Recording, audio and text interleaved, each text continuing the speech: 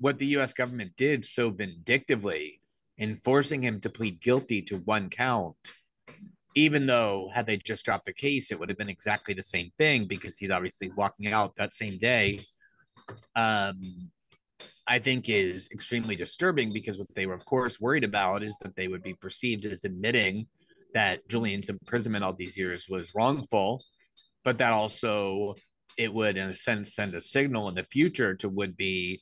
whistleblowers or publishers that have done what Julian did um, that even the US government acknowledges that there's no criminal liability. And that I think is the thing that concerns or should concern people who care about press, press freedom the most is what will the US government try and exploit or extract as a message of precedent?